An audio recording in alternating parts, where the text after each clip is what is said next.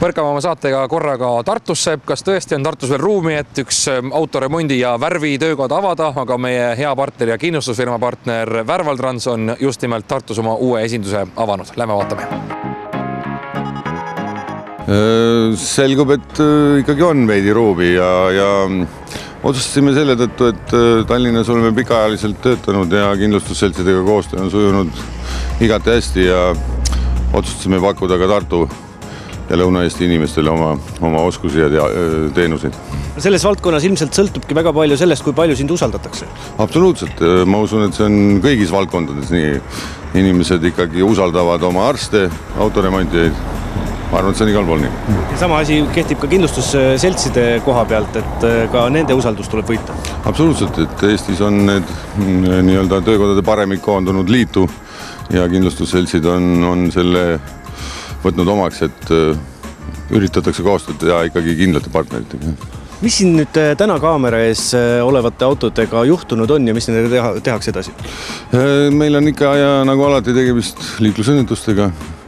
Ühe auto puhul on meil äh, lausa kaks juhtumit, üks on teelt väljasõit, teine on transpordikahju ehk auto sees olev koorem vigastas autot. Ja teine on meil äh, niisugune kõige tavalisem avariitüüp ehk tagant otsasõit võib-olla sa räägid paari sõnaga ka, mis töid neisse, nende autode puhul nüüd ette võetakse, ehk siis äh, mida te tegema reaalselt nagu peate? no tavaliselt ikkagi avariilise auto remont tähendab keredetailide, kas siis nii-öelda rahvakeeli üleslöömist, vahetust ja hiljem siis värvimist ja auto kokkupanekut. selle eh, tagant otsesõidu puhul, seal on ilmselt vaja vahetada välja lihtsalt stange?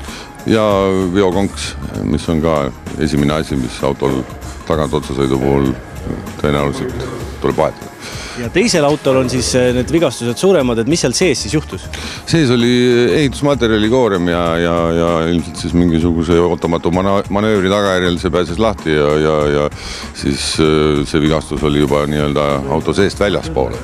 aga plekkdetailid olid rikutud ja vaja korda teha no millised on need eh, võib-olla õpetussõnad, kuigi teie töö on just eh, inimesi aidata juhul, kui midagi juhtunud, aga, aga eks ikkagi ju hea inimesena võib anda ka mõne soovituse, et ei juhtuks midagi. just, et eh, viimased talved on Eestis olnud väga lumevaesed ja seetõttu inimesed ilmselt on ära unustanud, et, et on ka selliseid ekstreemsemaid olusid nagu täna näha ja seetõttu tasuks olla ikkagi liikluses palju ettevaatlikum, kui me oleme tavaliselt harjunud mis tähendab seda, et, eh, et tuleb arvestada teeoludega ja, ja aega varuda, sest et ummikud on kerged tekkima.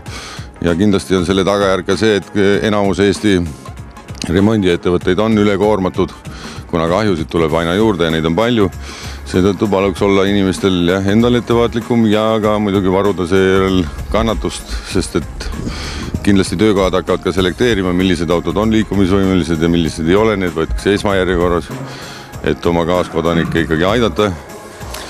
ilma autota elu teatavasti tänapäeval ei ole eriti mugav.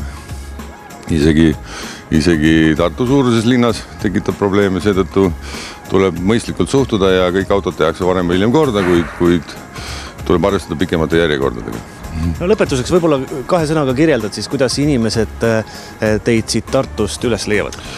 Tartust on äh, Värval Transi suhteliselt lihtne leida, nagu tänapäeval kombeks, kõigil on nutitelefonid taskus.